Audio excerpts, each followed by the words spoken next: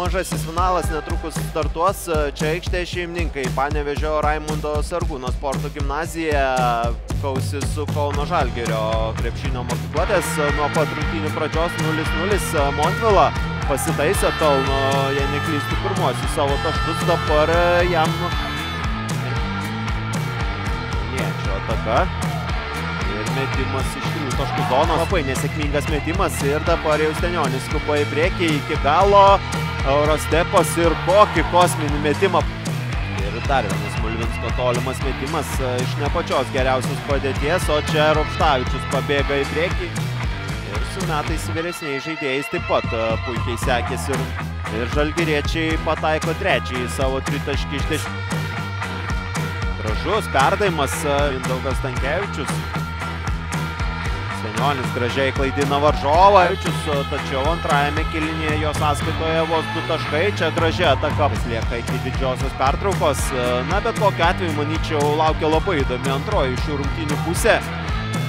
Simboliškai turėtų likti laiko kauniečiams, lieka 3 sekundės, tačiau pabėgęs į priekį yra Montvil. Kauno ekipoje dar be Stenionio.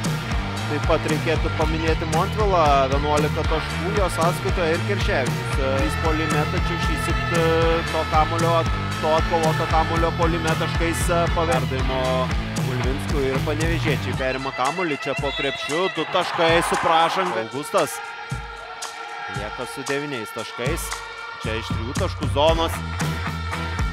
Žalgeris šiandien bando pirmą kartą šį sezoną įveikas kauniečiai.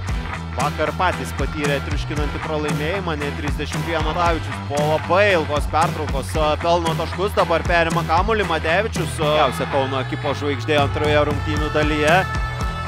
Ir daugiausia jo, viskas buvo gerai atlikta toje situacijoje. Skubo panevežiečiam ir kauniečiai labai yra labai arti to, kad šį sezoną vis dar trūksta dviejų rezultatyvių perdavimų link trigubo dublio, šis jam pataikyti iš toli netaisyklės, taigi kiekviena jų pražanga tai du baudos metimai, jų krepšys, Tenionis vėl nardo į baudos aikštelę. Per dvi dienas net 19 baudos metimų metė Rupštavičius, dabar jis pasidėtingas jo tolimas metimas, jam pataikyti nepavyksta, Prusakovas 300 ir jo rezultatyvų perdavimą, Rupštavičius iki galo, du taškai su pražanga, plojimai kauniečiams skamba ir žalia balta, taigi galima pasveikinti Kauno Žalgirio pirmąją krepšinio komandą. Jie iškovoja trečiąją vietą U17 čempionate.